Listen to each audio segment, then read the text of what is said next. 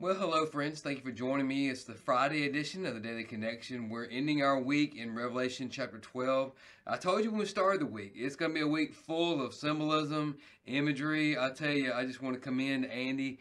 He and I talked about it a little bit. He said, "Man, brother Brent, this is this is going to be tough," and it is tough because we oftentimes view all of Revelation through a futuristic lens but there are some chapters where actually what we're getting from John is kind of a, a culmination of history, if you will.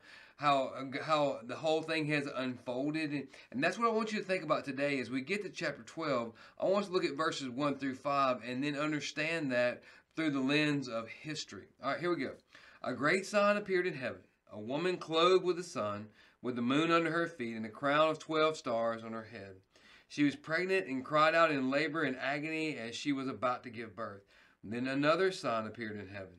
There was a great fiery red dragon having seven heads and ten horns, and on its heads were seven crowns. Its tail swept away a third of the stars in heaven and hurled them to the earth. And the dragon stood in front of the woman who was about to give birth, so that when she did give birth, he might devour her child. She gave birth to a son, a male who was going to rule all nations with an iron rod. Her child was caught up to God and to his throne. So let's stop right there.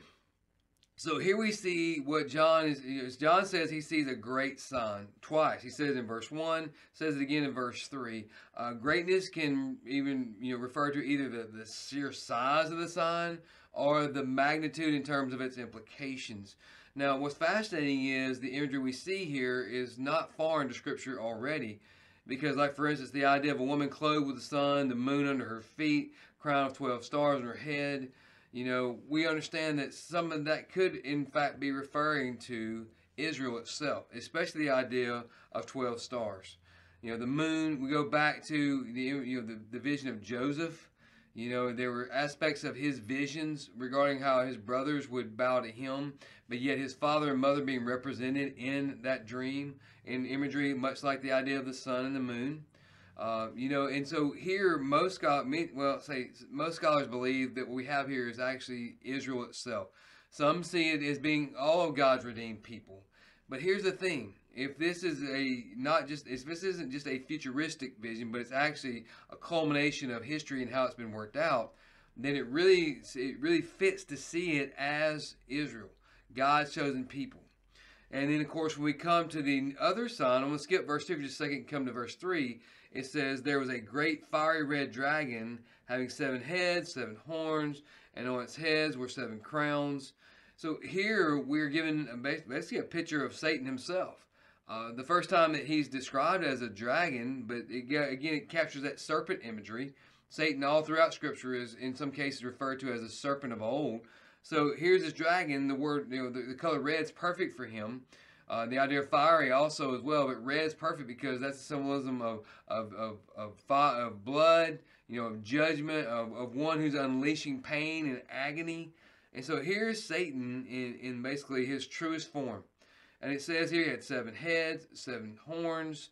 You know, of course, seven horns might well be reference to the number of kingdoms that have, have you know, existed in the time uh, preceding the final kingdom that will be ruled by Antichrist. And he says there are crowns there. So there's some authority being granted. There's, there's some authority being given and, and being exercised here uh, in terms of the crowns idea. And in those verse 4, its tail swept away a third of the stars in heaven and hurled them to the earth. Now, one of the things that's oftentimes seen here is that we've got this struggle taking place, you know, in, in terms of the, the heavenly realm. And in that struggle, Satan was defeated, but he didn't go down alone. Some see the reference to stars here as being referenced to, or in verse 4, as being referenced to angels.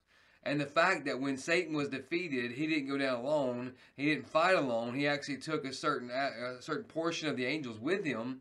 They now are the fallen angels, and in some cases, uh, they're they're demonic in the way that they they function. They're they, they're characterized with demons.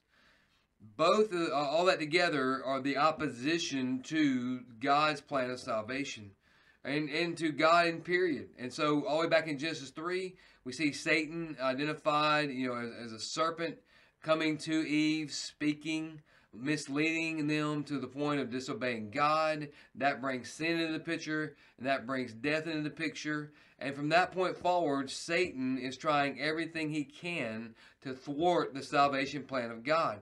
Even in Egypt, you know, in Egypt, Israel goes to Egypt uh, under the uh, careful, you know, under the care and and and, and uh, you know, um, I'm trying to think what provision of, of, of the Pharaoh.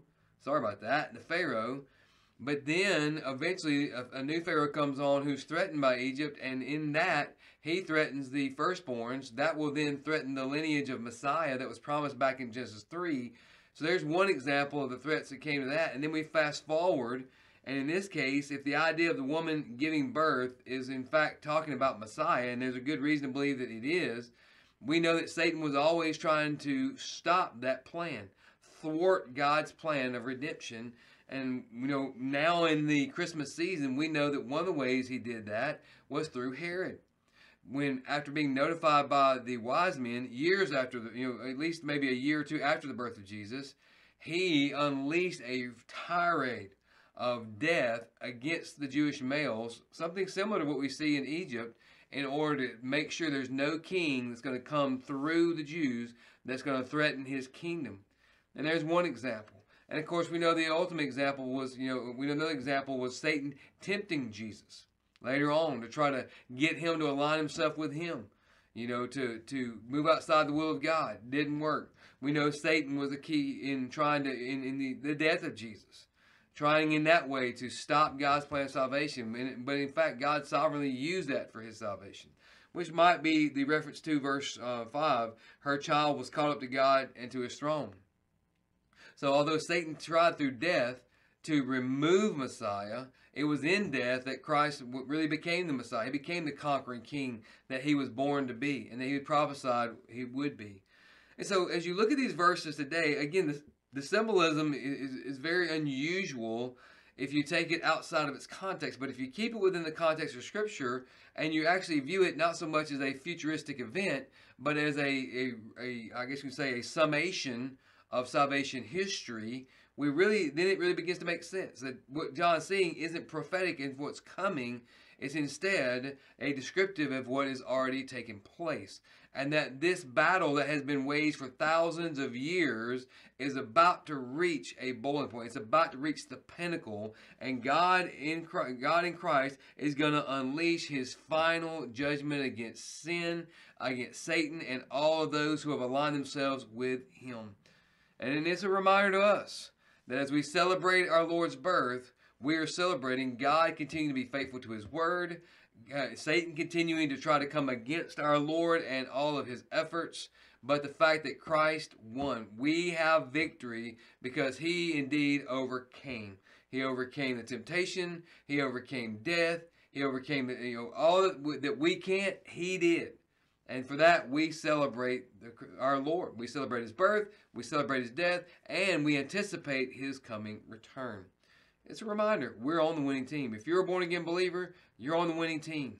Not because you do good things, not because you follow certain religious activities, but because you have placed your faith in Jesus Christ alone, then that means you're on the winning team.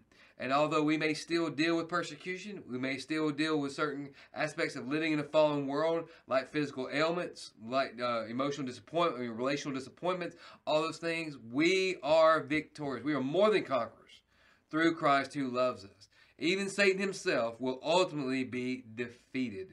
And friends, that's something to praise God for. And that's the reason why we get together for worship.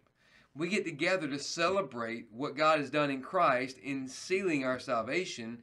We also get together in anticipation of the heavenly celebration that we'll enjoy in our eternal dwelling and in the return of Christ. That's why gathering is so important. I love technology. I love how it allows me to come into your life daily through the daily connection, how it allows us to, to stream our services on Sunday if you're traveling or if you happen to be away. I love that. But that's not what it is to be the church. To be the church is to be gathered. I know we've had so many different theories and so many different uh, styles presented over the years where screens are used and all that, but that can never replace the gathered body. The church was created together. And so I'm, I'm just challenging now as we lead up to Christmas. and the celebration, be physically present in worship if you can. Please come together 8.30 9.45 small groups 11 o'clock worship again as we continue to celebrate our lord and the songs of praise that were dedicated to him this coming week we're going to talk about the song of simeon and that's a song of redemption it is a beautiful song that recognizes who jesus is what he's done and the implications of that for us and for all who call upon his name well, friends, love you. Hope you've had a great week in the Word. And now let's transition that into a great Sunday of celebrating our Lord through the study of His Word and the singing of His praises. Till we're together Sunday, live sent.